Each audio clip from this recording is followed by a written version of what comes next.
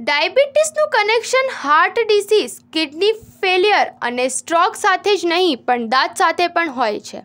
એક અભ્યાસ મુજબ, મધુમેહ દર્દીઓના દાંત જલ્દી તૂટી જાય છે. એમાં પૂર્ણ દંતહીન હોવાની આશંકા બીજા લોકો કરતાં બમણી હોય છે.